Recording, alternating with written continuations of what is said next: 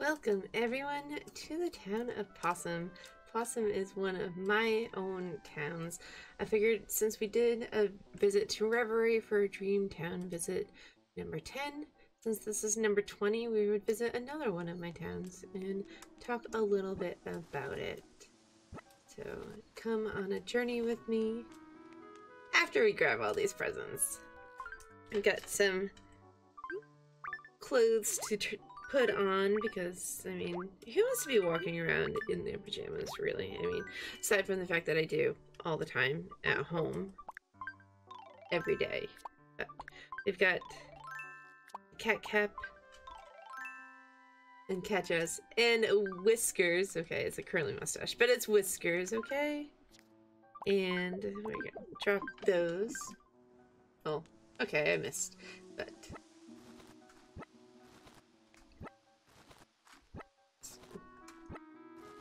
grab lots of goodies. I like to have presents in my dream towns, just so you can choose what you want to walk around with, if anything. We're gonna walk around with the balloon. It's a little yellow heart balloon. And then we've got more clothes over here, and you can visit yourself to see them. And then right away, you might notice that this is a hack town. Two town trees. I mean, that's normal, right? With um, a face cutout standy in the middle of them. But you can be a proud mama kitten with her litter of cute kittens. And let's get started on our journey.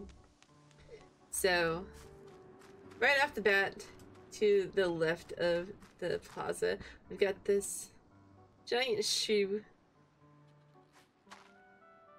Just a little reference to the fact that cats like to play with shoes.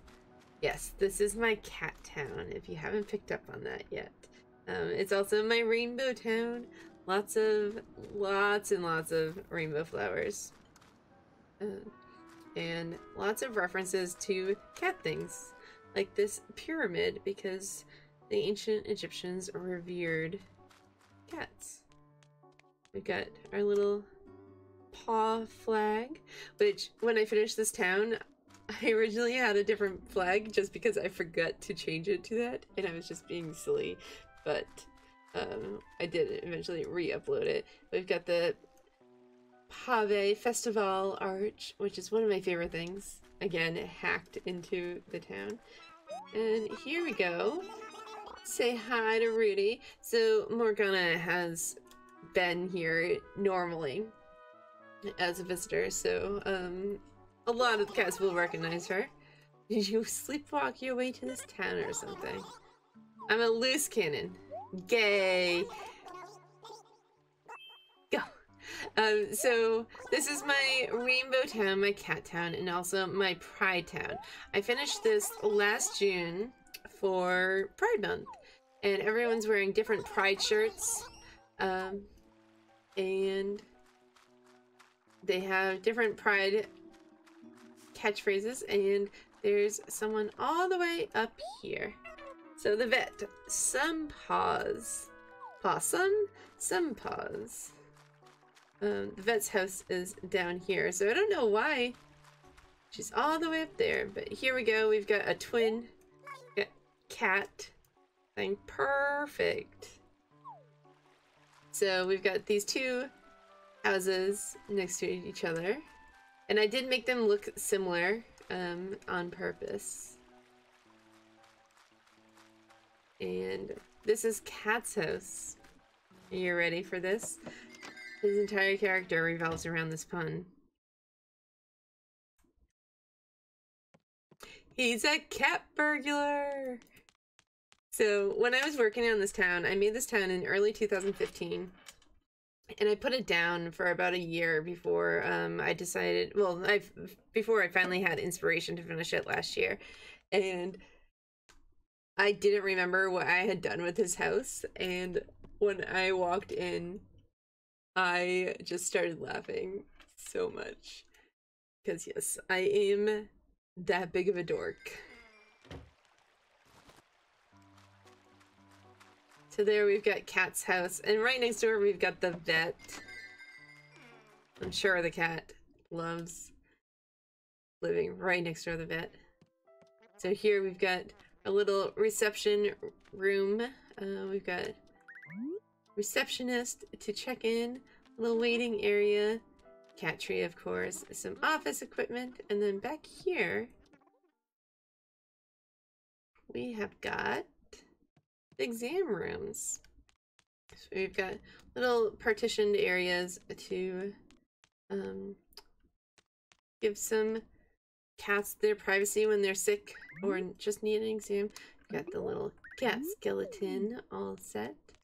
And um little little area to check your height and weight. So a nice simple but efficient exam room for our vet to operate in. Not operate, operate. There's um no operating table there, but you know, operations, like the daily operations. And then upstairs, we've got a little cozy apartment. Um, not much, very small, the basics, but it looks really nice still. Um, I like the touches of green to go with the wallpaper. And nice little rocking chair to read up on these books. Well, there's only one book there, but the books. Let's read books, not just one book. I'm pretty sure. Um,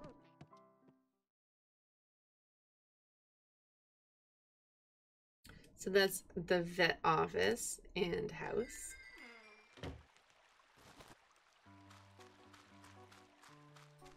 Then over here, you can follow the path, but why would I do that? Over here, we've got our campground. We've got a nice little hammock. And where the campers come to visit. And we've got Wendell. So.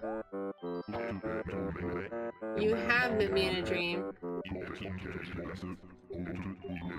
So I've got a bunch of original designs for this town, including a ton of pride shirts. So um, I don't know if all the shirts show up in the Dream Town. They do. Okay.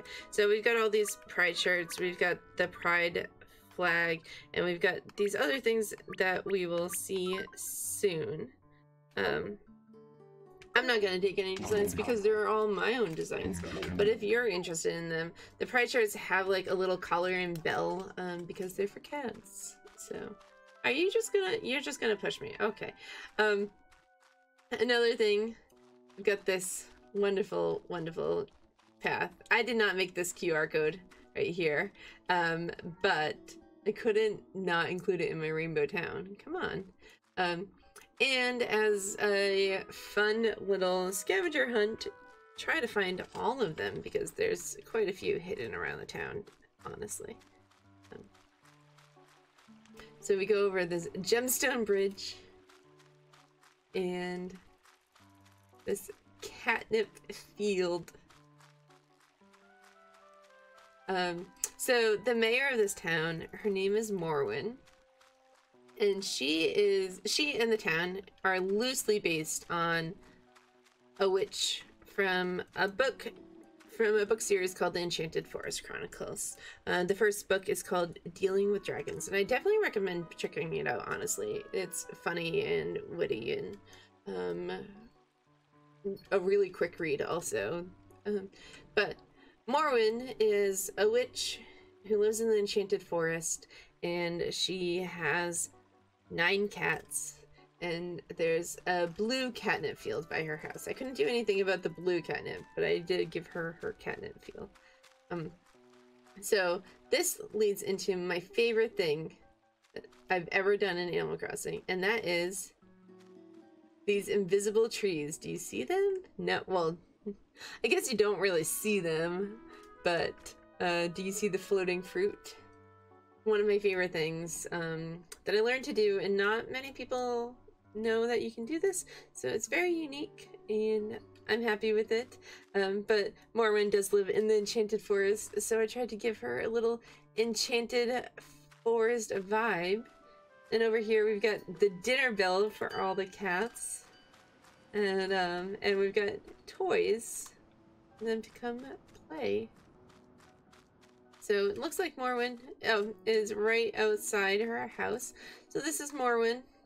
Her her greeting is none of this nonsense, please, which is from the book. Um, I took most I took the basics of the book of the character from the book. She's not even the main character of the story, but I took the basics of her character and then uh, embellished upon that. But another um, inspiration for this, this house particularly, is uh, based off of, if you can see it without the arch, um, there's a cute little cottage in Fantasy Life, which is one of my favorite games as well, and I tried to recreate that in New Leaf um, by the exterior. So let's go into Morwen's house.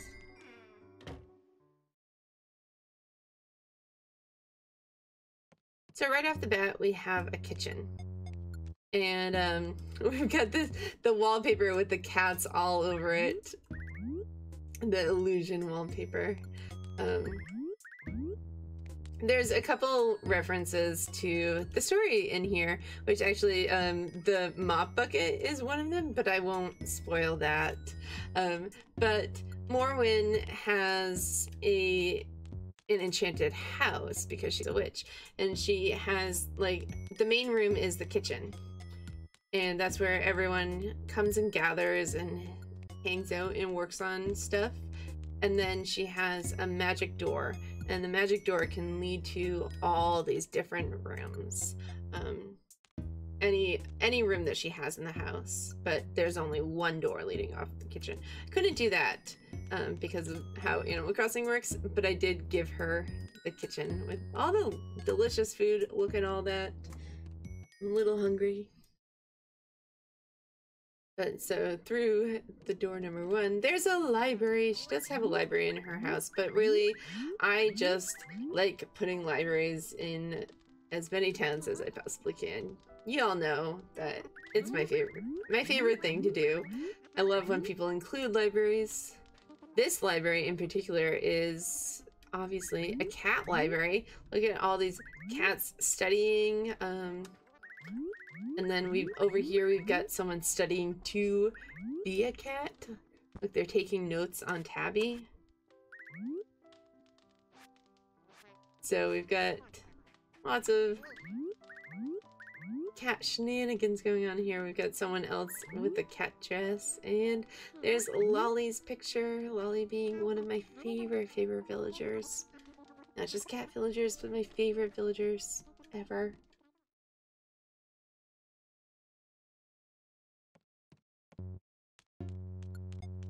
Then over here, we have got the cat cafe. Now this room was one of the reasons that this town wasn't completed for the longest time. I knew I wanted to make a cat cafe, but could not make it work. I couldn't couldn't figure out what I wanted to do specifically until um I saw this this Sanrio furniture and I was like, yes, that is what we're going to do. And then inspiration struck and I was like finally just able to finish the entire town. It was really nice. Uh, this floor, I made myself to go with the wallpaper and, and the color scheme. I really like this this particular blue with this this pink with the yellow. Um, so um, this is a QR code that you should be able to grab from Wendell as well. And of course, we've got these cat cushions, um, cat sleeping on these cushions. It's a cat cafe. So.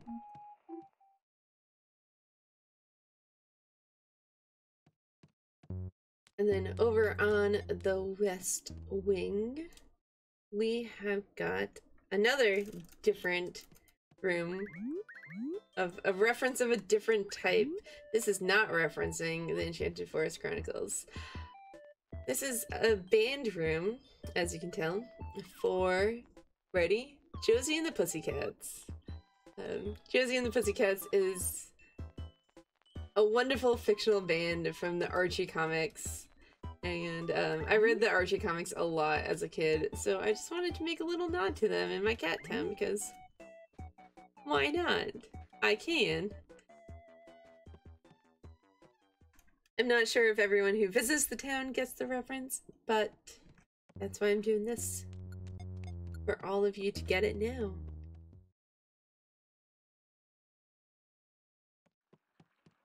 Then up here, we've got a jungle. I had a lot of fun making this room in particular, honestly. Um, it's not very functional, but you can't walk very far into it, but I love it. It's supposed to be crowded. We've got we've got a tiger, we've got Bud's picture, because just pretend that tigers and lions live together peacefully in the jungle. I know lions don't live in the jungle, but just go with it here, okay? Um, and I just really, really love this room a lot. All the greenery. The, the town itself, like, the houses in this town are don't have a whole lot of greenery, so I shoved it all into one room. And then down here we've got Morwen's like little living area besides the kitchen. Uh, We've got a nice little table for her to hang out when we've got a Wii U, um, because why not? Then just stacks of books, um, some tea time, and then we've even got a vacuum because um, when you have so many cats, you need to vacuum a lot. Shedding season just started in Chicago. Um, it's May, and we might be done with snow. Maybe. Maybe. I can't say that too loudly, I guess. Um, because it did snow last weekend. But this weekend it was in the 70s, so we might be done with snow, and that means my cats have been shedding a ton.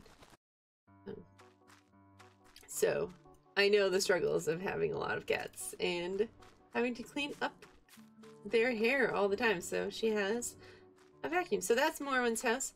And then over here we've got a wetsuit, which we are going to put on, and that looks a little ridiculous with the cat's, um, the cat hat. But we're gonna go take a diving leap and come visit this secret beach.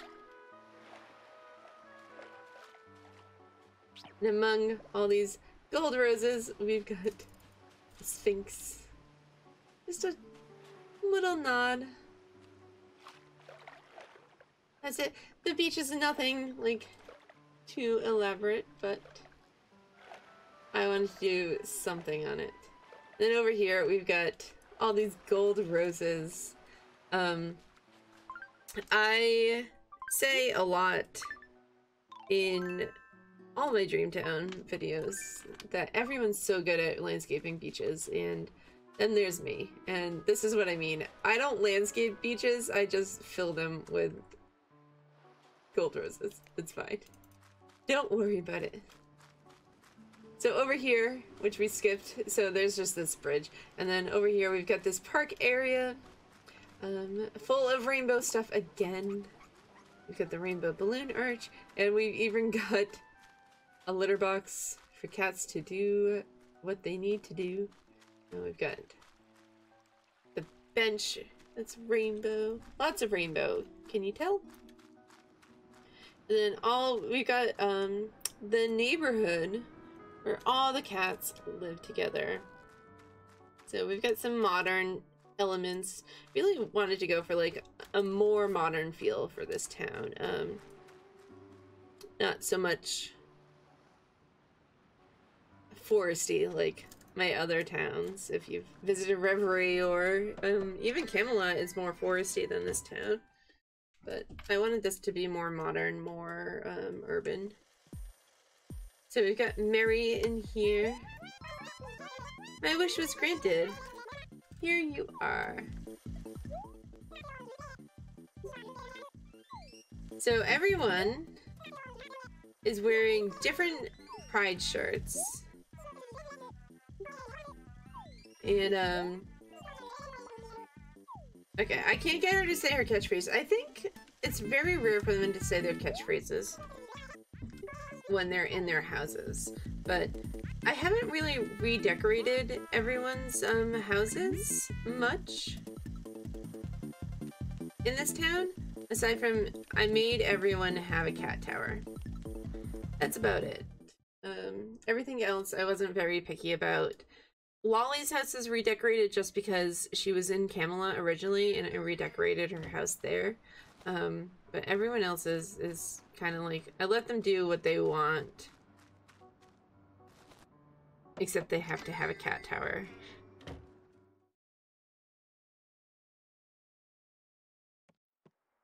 And Cat doesn't have a cat tower. Cat got rid of hers. Cat, you're making a liar out of me. So everyone has different pride shirts and everyone has pride catchphrases. So Cat's is be proud. This little fun thing that I had um, making the catchphrases for everyone in this town.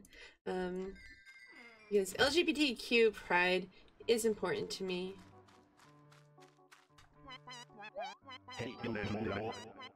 Oh, apparently we've never met Tom before. Oh, it's okay. You're here and welcome. Act up. Act up is um a catchphrase for him. Um, the ACT UP movement was when the AIDS epidemic was happening. Um, there's an ACT UP movement in San Francisco. So, um, it's an important catchphrase. And Tom being an older villager, um, because the Crankies are always portrayed as older, thought he might have been around for the AIDS epidemic and um, be relevant to that catchphrase. Lolly's home now, so we're gonna go say hi to Lolly because we love Lolly. Um, Lolly was actually an original villager in Camelot. So, as I said, I redecorated her house, and I really like her house. Um, but she was an original villager in Camelot, and she still remembers Morgana. Is that bestie? Been wishing and hoping that we might see each other again.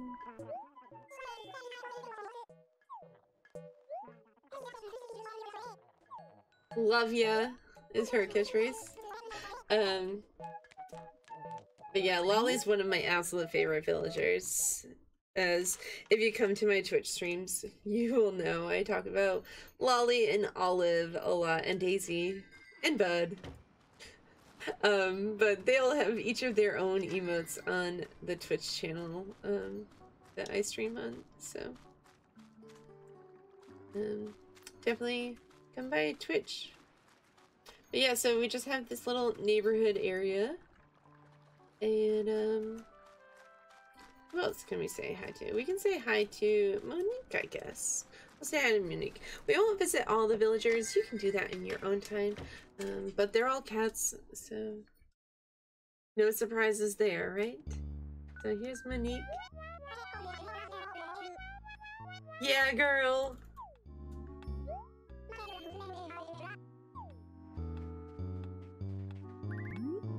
So this is uh, her house. Mostly still the same.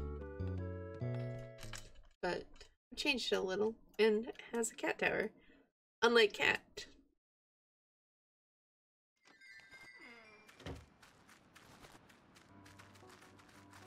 So we're nearing the end of this tour. So I hope you enjoyed this video and this town. I put a lot of time into this town. I know it's hacked.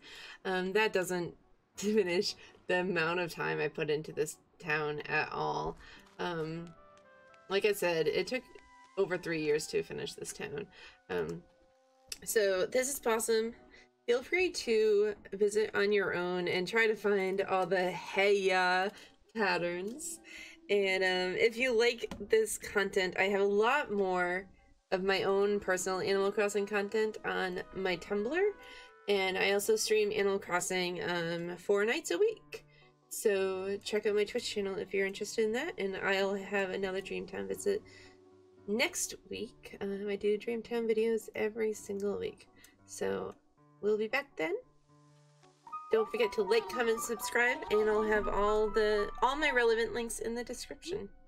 So have a good day.